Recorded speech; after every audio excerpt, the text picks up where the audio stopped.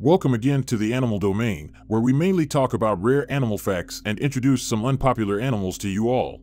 So today, we'll talk about butterflies. To your surprise, a poisonous butterfly can kill six cats. Butterflies are one of the most beautiful and loved insects of all. Butterflies are specific insects that are members of the Lepidoptera. The Greek for scaly wings is Lepidoptera. This name is perfect for the insects in this group because of the rows of thousands of tiny scales that cover their wings. Butterflies are sophisticated insects. Numerous activities can describe their daily life. Many of the following activities may involve butterflies if you pay close attention.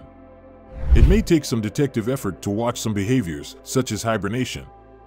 You must be at the right location at the right time to see other actions like basking, puddling, or migrating. The butterfly's beauty is due to its scales, which are organized in vibrant patterns particular to each species. We all are amused and fascinated by its beauty. But what if I tell you they are not as harmless as it looks? There are some deadly butterflies in our ecosystem. There are more than 100,000 species of butterflies around the globe, and many contain poison. The plants that butterflies eat as caterpillars, some of which are deadly, and from there, the butterflies obtain the poison. The mature butterfly's body then begins to amass these poisons, which continue to exist despite the change in diet.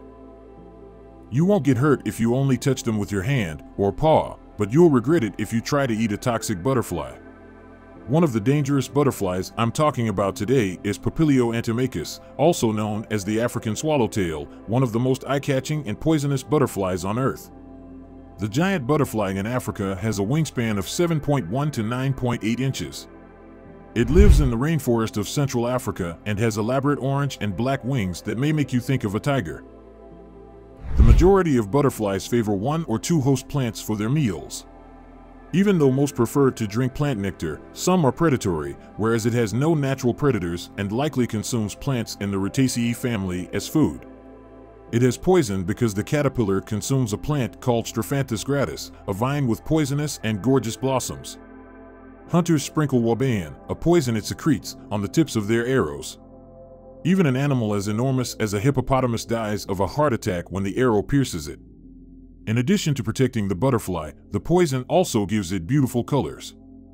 Long and thin, with an orange-brown background and black markings, the wings are long and slender. A solitary, smooth, almost spherical egg marks the beginning of the African giant swallowtail's life cycle. This egg gives rise to a larva that, like most Papilio species, the osmeterium, or extensible, fleshy forked organ, is present in the first thoracic segment of the larvae.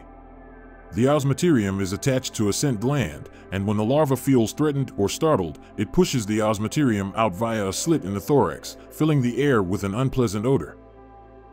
The chrysalis, or pupa, forms after five skin molts, instars. A silk thread around the center of the pupa holds it erect and secures it to a plant. Male African giant swallowtails may gather at watering holes or be seen flying quickly alongside streams, whereas females tend to be more reticent in their behaviors. The aggressive males of the Papilio species may jostle and battle one another when guarding a territory along a stretch of river. The Bwindi Impenetrable National Park in Uganda is a protected site where the gigantic African swallowtail has been observed. Every rainforest preserve in the African giant swallowtails range has to be examined to see if this species is present, according to a 1991 action plan for conserving swallowtail butterflies released by the IUCN-SSC Lepidoptera Group. It is essential to assess how well the reserves protect the habitat to keep this rare butterfly.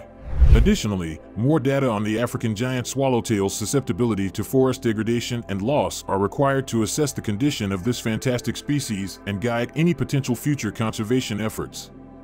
Other than reserves, the tropical rainforests in West and Central Africa are home to P. antimachus. The distribution area includes Angola, Cameroon, Gabon, Ghana, Ivory Coast, Liberia, Nigeria, Sierra Leone, the Democratic Republic of the Congo, the Republic of the Congo, Uganda, and the Democratic Republic of the Congo, range. Compared to the eastern parts of its distribution, it is significantly rarer in the western portions, Guinea to Cameroon. It most likely remains in the forest canopy, but the males descend to the mud puddle. At nectar, groups of males, more significant than females, can be spotted. Less obviously than the males, the ladies frequently soar above the treetops. In Liberia, it has been observed as hilltopping. The butterfly may have no natural enemies since it is so toxic. There needs to be more information about the larval food plant or the early stages, egg, larva, pupa. According to cardiac glycosides detected in the larva, the Asclepiad vine is the larval food plant. African swallowtail made us realize to chase after beauty. We should avoid this poisonous insect, no matter how beautiful and colorful it looks. Papilio antimachus is so toxic that it can kill six cats. It is so dangerous that even its mentions are asked to stay away from it. That is all for today, and I hope you enjoyed today's video about the African giant swallowtails and how the most beautiful butterfly can kill six cats at once through its poison. I'll meet you soon with another exciting topic. Till then, keep learning and make sure you subscribe and turn the notification bell for more exciting animal facts.